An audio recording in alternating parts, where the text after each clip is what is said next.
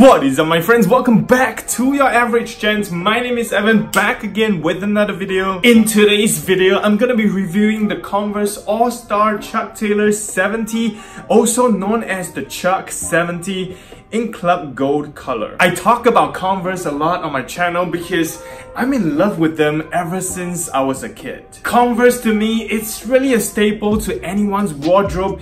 It's a no-brainer because you can wear this to pretty much any casual outfit and it's really affordable as well. I bought this pair over two months ago during National Day which is 9 August here in Singapore and in today's video I'm gonna be sharing my thoughts on this pair of sweet kicks. And like all my other shoe reviews, this is gonna be based on its aesthetics, its affordability, its comfortability, its durability, and its versatility. And without further ado, let's kick it off with its aesthetics.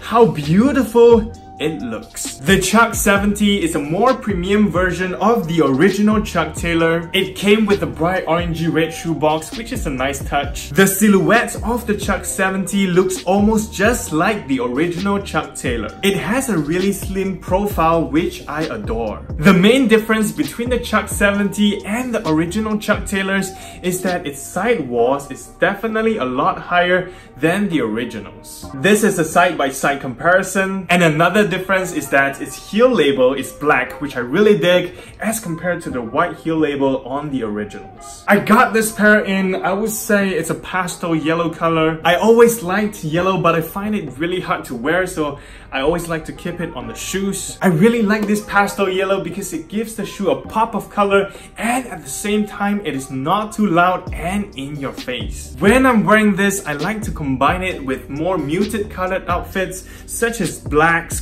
gray, white, beige. Mostly I just like to wear this with a pair of black jeans and a white t-shirt. Another detail of the Chuck 70 is this red name tag thing on the inside of the tongue on the right foot. It's only on the right foot because as you can see there's none on the left. It also got the leather Converse emblem on the side which the originals are made of rubber. So anyways for the aesthetics, the original Chuck Taylors is already 9 out of 10 for me and for this Chuck 70 definitely an easy 10 out of 10. Next, let's talk about its affordability. It's bang for the buck. It retails for 85 USD and in Singapore, it retails for 120 Singapore dollars. And in comparison to the originals, they retail for about 55 USD or about 80 Singapore dollars. For the affordability, the original ones definitely is a 9 for me. For the Chuck 70 at a little higher price point, I'm gonna give it an 8 out of 10 for its affordability. Not bad, it's still pretty affordable and it's pretty comparable to the Adidas Stan Smith. Next, let's talk about its comfortability. The fit of the Chuck Taylor 70 is exactly the same as the fit of the original Chuck Taylors, so I wear a size 9 for the original Chuck Taylors and I wear a size 9 for the Chuck 70. Now, for the insole of the Chuck 70, it feels a lot softer than the original Chuck Taylors. It feels like it has more cushioning inside. When you put it on, you just kind of feel like your feet sinks in. The canvas on the Chuck 70 feels a little stiffer than the original Chuck Taylors. I got a little bit of abrasion on my ankles and my heels the first few times when I wear these, but it got broken in fairly quickly after a few times wearing them. So for comfortability, I'm gonna give it a hmm, 7 out of 10. Next, its durability. Definitely has a better quality than the original Chuck Taylors. I mean, you gotta justify the higher price point, right? The canvas on the Chuck 70 feels a lot thicker and a lot sturdier than the canvas on the original ones. And since the Chuck 70 has a higher sidewall, it's gonna prevent the rubber on the side